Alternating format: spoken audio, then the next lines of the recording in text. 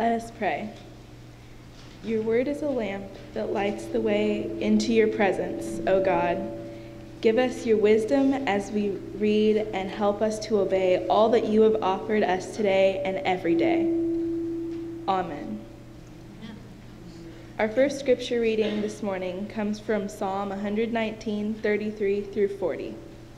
Listen to the word of the Lord. Teach me, O Lord, the way of your statutes, and I will observe it to the end.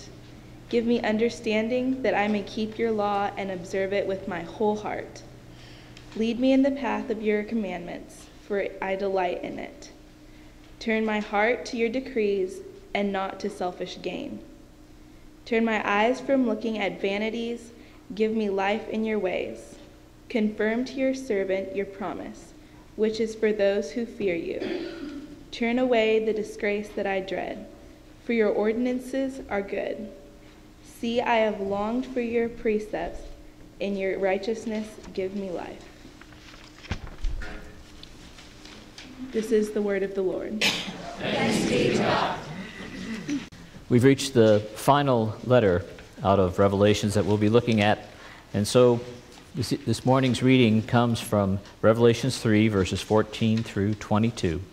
I invite you to listen to the Word of God. And to the angel in, of the church in Laodicea write the words of the Amen, the faithful and true witness, the origin of God's creation. I know your works. You are neither cold nor hot. I wish that you were either cold or hot. So, because you are lukewarm, neither cold nor hot, I am going to spit you out of my mouth. For you say, I am rich, I have prospered, and I need nothing. You do not realize that you are wretched, pitiable, poor, blind, and naked. Therefore, I counsel you to buy from me gold refined by fire, so that you may be rich, and white robes to clothe you and to keep the shame of your nakedness from being seen, and salve to anoint your eyes, so that you may see. I reprove and discipline those whom I love. Be earnest, therefore, and repent. Behold, I am standing at the door knocking. If you hear my voice and open the door, I will come into you and eat with you, and you with me.